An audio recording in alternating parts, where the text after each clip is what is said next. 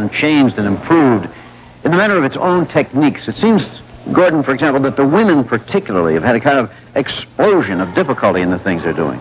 Really, it's because the men's side of the sport is so old, Jim, and the really, the women have just begun competing in the last generation. And uh, starting from ground zero, of course, the progression of their difficulty has just been unbelievably fast.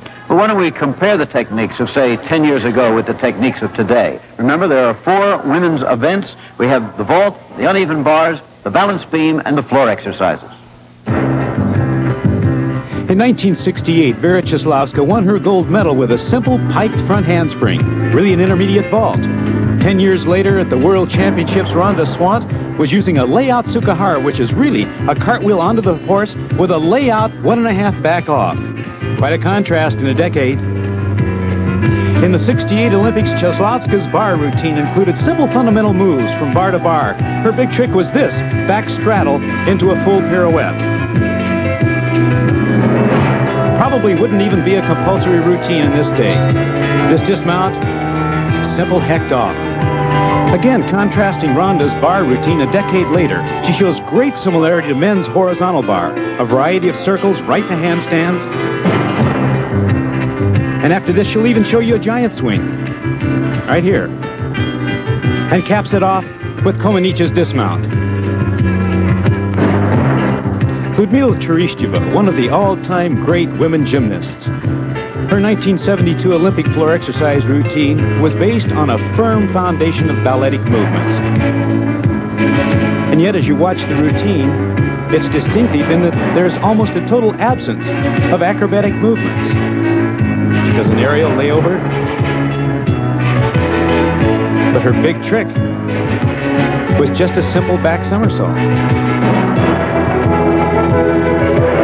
Yet as you watch her, you're impressed with the fineness, the elegance of the movement.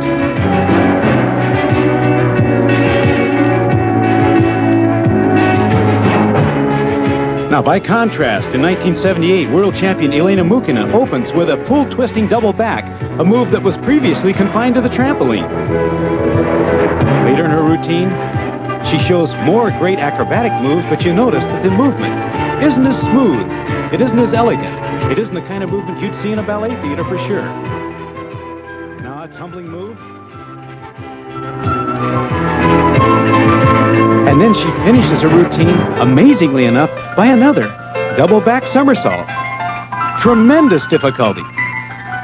Quite a contrast in just 10 years. And then the balance beam, 1968 Olympic Games, Czechoslovakian Anna Lisková. Her work is going to be very slow, very deliberate, and again, an absence of acrobatic moves. In fact, maybe the most difficult part of her routine will be a handstand lower to a forward roll right here.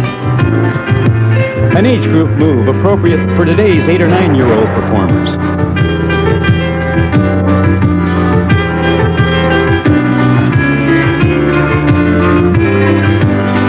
And our contrast is in the American Cup 1979 Tracy Talavera. Watch her acrobatic moves. There's a back walkover.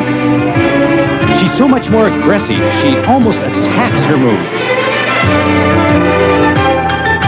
Her routine, the foundation, I would think, is more acrobatic, less balletic, certainly riskier, as in that back somersault. Then she gets ready for a dismount. It'll be two back handsprings into a double twister. And remember, Tracy is only 12 years old. Here in New Jersey is a new, well-equipped gym.